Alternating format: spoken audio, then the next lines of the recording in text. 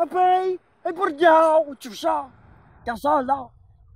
Ben là, ceux-là sont tout petits, là. Parce qu'au fait, là, je sais pas si vous le savez, mais les autres, on est à en Gaspésie. Puis ici, là, ils cassent du bourdon, mes amis, là, en Basse-Liac, parce qu'il y a des fleurs, c'est beau, ça met de la couleur. Mais une chose qui est certaine, là, c'est que les bourdons, que vous le croyez ou vous le croyez pas, ça vient du temps des dinosaures. Là, ils sont petits, là. Mais dans le temps, là, c'était plus gros que ça, là.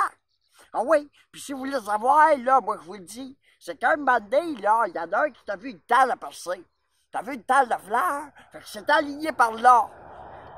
Direction percée, il a traversé la baie de Bellas, puis quand il est arrivé en milieu de la baie, il a entendu un gros pouf!